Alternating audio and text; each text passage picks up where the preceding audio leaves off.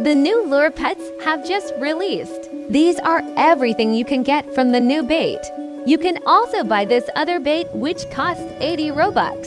The premium bait has 90% chance of 3 low-tier pets and 10% chance of legendary lava rhino pet. Before the lure pets used to take 4 hours of wait time. Now Adopt Me reduced the time to only 10 minutes of wait time. I found a working faster way to get lure pets 10 times faster. First start by making bunch of all the accounts. I just made an account and started with 100 bucks. Make sure to collect your daily rewards. First get a free starter egg and start doing the tasks. Doing the task board tasks will earn you bucks faster. You can also do any job to earn bucks even faster. I can finally afford to buy the lure box with about 25 minutes of playtime. If you got Robux, you can buy second lure box on same account.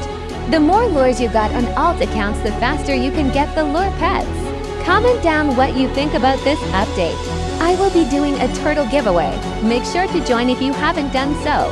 Winner will be announced on February 25th. As always, thanks for watching.